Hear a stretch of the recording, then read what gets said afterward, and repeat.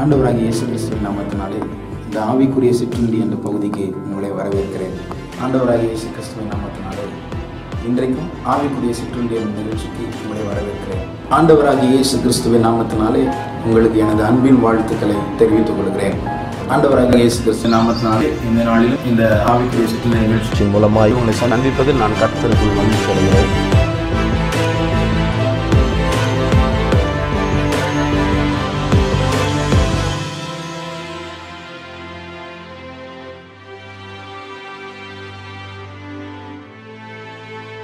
ஆண்டவராகிய இயேசு கிறிஸ்துவின் நாமத்தினாலே இந்த ஓய்வு நாளிலும் உங்களை சந்திப்பது நான் கர்த்தருக்குள் மகிழ்ச்சி அடைகிறேன்.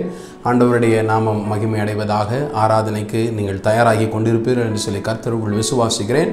குடும்பத்தோடு கூட ஆராதனையிலே பங்கு பெறுங்கள். கர்த்தர் உங்களை நிச்சயமாக ஆசீர்வதிப்பார். இந்த நாளில் நம்முடைய தியானத்திற்கான வசனம் அப்போ சிலர் பதினாறு ஐந்து.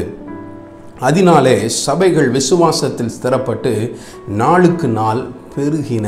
அதனாலே சபைகள் விசுவாசத்தில் ஸ்திரப்பட்டு நாளுக்கு நாள் பெருகின.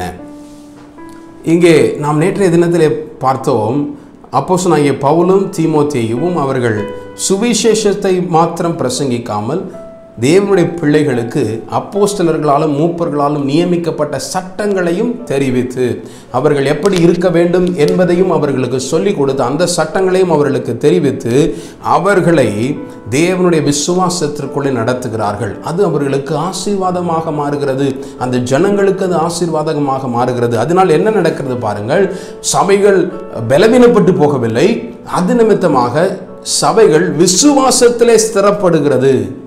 ஹாலெலூயா தேவனுக்குள் நாம் எப்படி வளர வேண்டும்? தேவனை நாம் எப்படி பிரியப்படுத்த வேண்டும்? அவருக்குள்ளே எப்படி பரிசுத்தமாய் நாம் வாழ வேண்டும் என்று சொல்லுகிறதான ஒவ்வொரு தேவனுடைய வார்த்தையும் நாம் அவருக்குள்ளே விசுவாசத்தில் வளருவதற்கு அல்லது விசுவாசத்திலே ஸ்திரப்படுவதற்கு நமக்கு காரணமாய் மாறுகிறது. அவைகள் ஒருபோதும் உங்களை சோர்ந்து போக பண்ணுவதில்லை. ஒருபோதும் நினைக்காதிருங்கள். என்ன இந்த போதகர் எப்பொழுது பார்த்தாலும் என்னை நீ இப்படி நடந்து கொள் அப்படி நடந்து கொள் அதை செய் இதை செய் என்று சொல்லி சொல்லிக் கொண்டிருக்கிறாரே. இதையே இவர் பிரசங்கித்துக் கொண்டிருக்கிறாரே என்று சொல்லி ஒருபோதும் நினைக்காதிருங்கள். இது உங்களை என்ன செய்யுமானால் இப்படிப்பட்ட வார்த்தைகள் உங்களுக்கு என்ன உங்களை என்ன செய்யுமானால் நீங்கள் தேவனுக்குள்ளே விசுவாசத்திலே ஸ்திரப்படுவதற்கு உங்களுக்கு காரணமாகும்.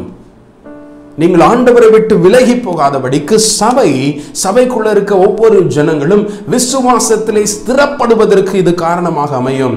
வேதம் என்ன சொல்லுகிறது? தலைவர்களாக இருக்கிறவர்கள் நாம் வேதத்திலிருந்து எதை கற்றுக்கொள்ள வேண்டும் என்று சொல்லி நமக்கு கற்பித்து தந்திருக்கிறார்களோ இவைகள் எல்லாம் நாம் விசுவாசத்திலே வளர்ந்து தேவன் மீது உள்ள விசுவாசம் அவருடைய வார்த்தையின் மீது உள்ள விசுவாசம் இவைகளிலே வளர்ந்து அவருக்குள்ளே ஸ்திரப்படுவதற்கு காரணமாக மாறும். ஒரு சோதனை வரும் பொழுது ஒரு வேதனை வரும் பொழுது அவரை விட்டு பின்வாங்காதபடிக்கு அவருக்குள்ளே வளருவதற்கு காரணமாகும். ஆகவே இன்றைய தினத்திலும் நீங்கள் உங்களுடைய சபைகளை சபையிலே நீங்கள் தேவனுடைய வார்த்தையை கேட்பதற்கு ஆயத்தமாக இருக்கும் பொழுது ஆண்டவரை நீர் என்ன பேசினாலும் நான் கேட்பதற்கு ஆயத்தமாக இருக்கிறேன். ஒருவேளை கண்டிப்போடு கூட உங்களுடைய போதகர் பேசுவாரானால் நீங்கள் எப்படி ஜீவிக்க வேண்டும் என்று சொல்லி உங்களுடைய போதகர் கற்றுக் கொடுப்பாரானால் நீங்கள் அதை குறித்து முறுமுறுக்காதபடிக்கு அது உங்களுடைய வாழ்க்கையின் நன்மைக்காக என்பதை நீங்கள் அறிந்து கொள்ளுங்கள். ஆமை